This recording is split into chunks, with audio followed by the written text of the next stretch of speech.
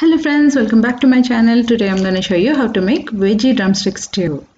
This is a such, this is a very very easy recipe and you can cook it on stove top, pressure cooker or instant pot.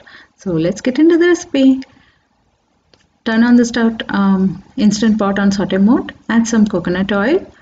Add some uh, onions and a little bit of salt. Then start roasting.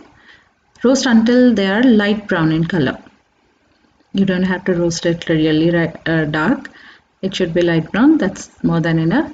Then add some turmeric powder and ginger garlic paste. Roast until the raw smell disappears. You don't have to worry about the quantities because I'm going to mention everything in the description below. So after that add the drumstick pieces. Mix it well and then uh, leave it for two minutes. Then add some chopped tomatoes. This is an optional ingredient if you don't want to add it please don't. Then add some uh, enough salt red chili powder coriander cumin powder and tamarind extract. So mix it once and uh, check for the consistency and then add uh, as much water as you want to make the stew.